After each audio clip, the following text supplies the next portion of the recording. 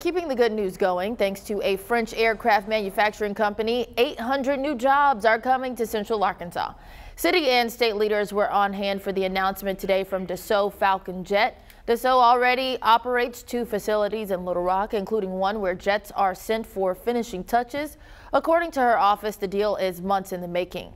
Governor Sarah Sanders met with the company's leadership team this summer at the Paris International Air Show.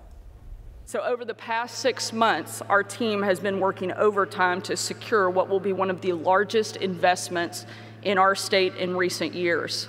800 new, good paying jobs and a facility that secures our state's place as an aerospace powerhouse. Dassault already employs 1,400 workers, making up the company's largest facility in the world in footprint and employees.